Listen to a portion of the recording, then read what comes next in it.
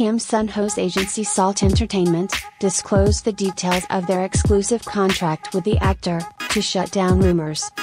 Hello, this is Salt Entertainment. We would like to share the correct information regarding the term of the contract between actor Kim Seon Ho and Salt Entertainment. While the contents of the contract should be kept confidential according to the principle, we are revealing this, with consent from the parties involved, due to the continuous problems.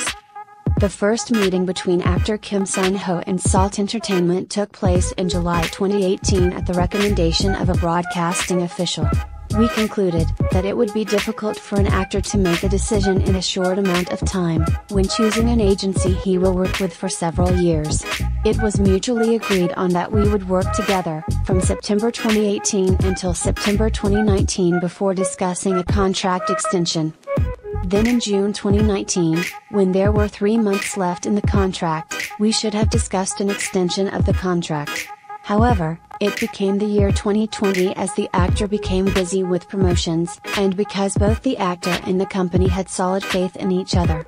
Then, according to the actor's request, we renewed the term of the contract from March 2020 through March 2023.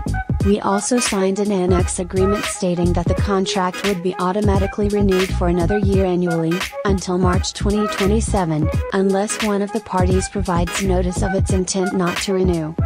We ask for your understanding as we are releasing these statements, due to the continuous problems. Thank you.